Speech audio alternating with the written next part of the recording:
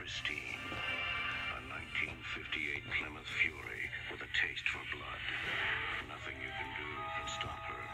Because how do you kill something that can't possibly be alive?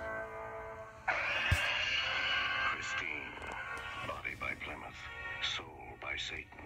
Rated R. Watch out for her soul at a theater near you. She lives. What do you mean came back?